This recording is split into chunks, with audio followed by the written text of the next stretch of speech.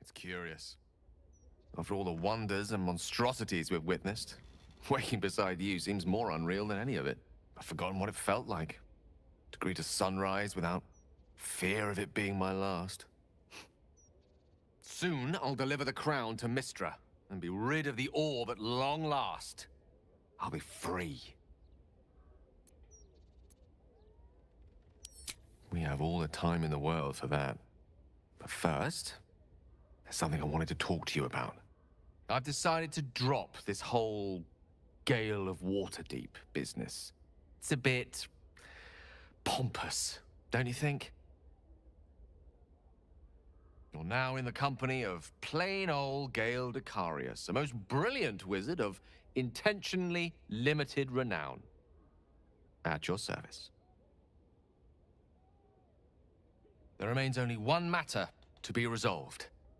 For me, at least. I love you. More than I've ever loved anyone, mortal or immortal. And you've proven your love for me in more ways than even the greatest mathematicians would dare to count. I understand your purpose lies here, but I fear if I return to Waterdeep alone, my heart would remain here with you. And so, if you're at all amenable to the idea, I thought I could, perhaps, stay. There might even be room for two Dekarioses in Baldur's Gate. Uh, I suppose I am. Tara would be delighted, not to mention my mother. But I'd be just as happy without such ceremony. So long as we're together.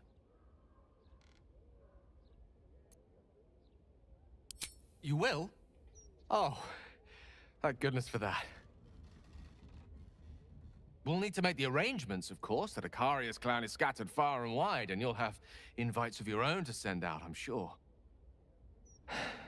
But that's all to come. The day is young, and there are thousands more days ahead of us. This seems pretty rare. You're quite certain I look acceptable. Our adventures rarely lend themselves to luxury. Or cleanliness, for that matter. It's been some time since I've made such an effort.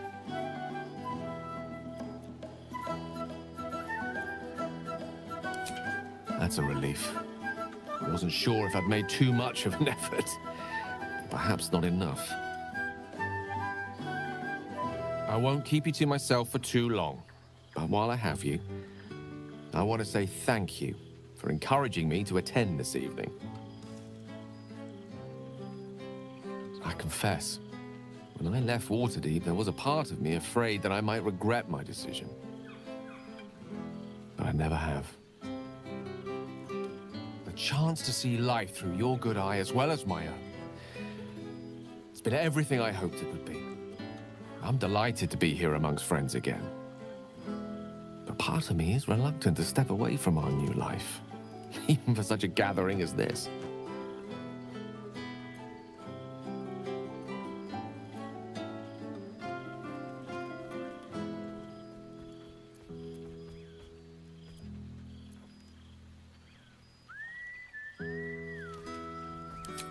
Given the rest of the guest list, I'd say you're not the only one. Thankfully, your temptations tonight can be indulged. Good food, good wine, and excellent company. I don't know where to begin in telling people what we've been up to. I suspect they won't believe me.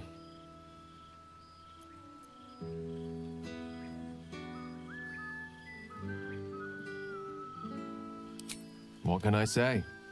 You're an excellent teacher. Our lives are certainly a far cry from the one I once pictured. Even now, with the orb's fires quelled by Mystra at last, I scarcely dare believe it. Before we met, I fear I was rather stuck in my ways. And stuck inside my tower with a world-shattering orb of magic sealed within my chest, to be fair to myself. I was afraid to so much as dream of a night like this.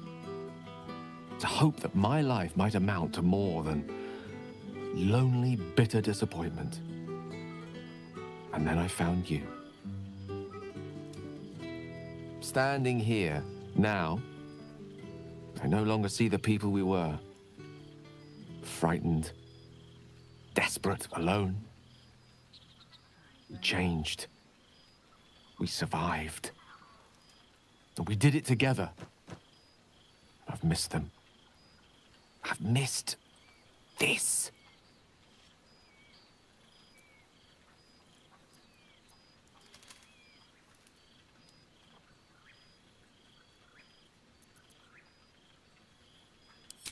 I'm quite certain they're as delighted to see you as you are to see them. Speaking of which, I think it's high time you bless someone other than myself with your inimitable presence.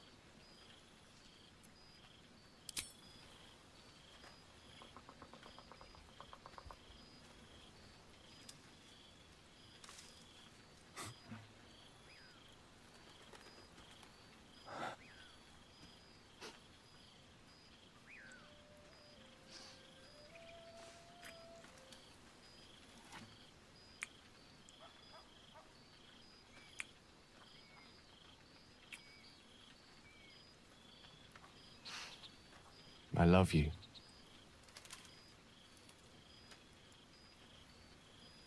Now go on, before I change my mind. Oh, hello, darling. I wasn't sure you'd make it. Yes, you are a very social sort, aren't you? Gale's never been kept so busy in all his days. No wonder his studies are suffering. But such is the way of love, isn't it?